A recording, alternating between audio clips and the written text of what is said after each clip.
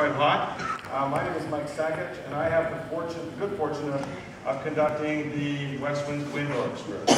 Um, we have had a good start to the year.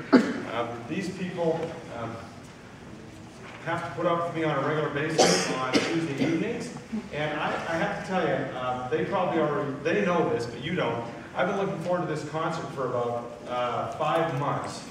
Um, I started listening to music in early June and spent many hours trying to come up with a program that I thought would be really good for this opening show. And I got so excited about it. Like, this was the show of shows for me for the start of the year. And I sent it out to all these guys. They were probably thinking, like, what is he doing? We're not even starting for months. Anyhow, they got the music, or the, the listing uh, music in early July. And so when we showed up in September, uh, I was kind of already vibrating because I knew I got to rehearse this, this wonderful band and this music.